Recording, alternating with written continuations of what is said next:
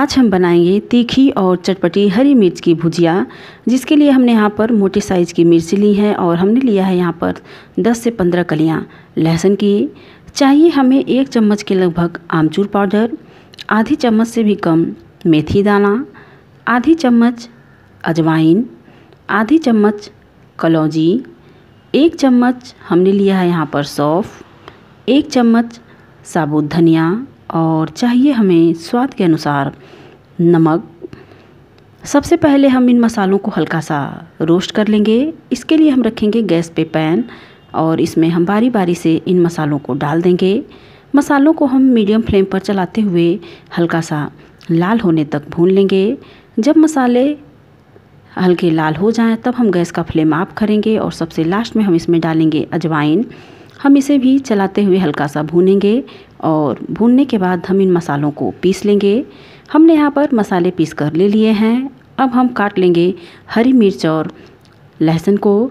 मिर्च को हमने इस तरीके के पीसेस में काटा है और लहसुन को भी हमने चार चार टुकड़ों में काट कर ले लिया है। तो चलिए इसे बना लेते हैं। हम फिर से पैन में डालेंगे दो से तीन चम्मच सरसों का तेल। अब हम इसमें कटी हुई मिर्च और लहसुन को डाल देंगे।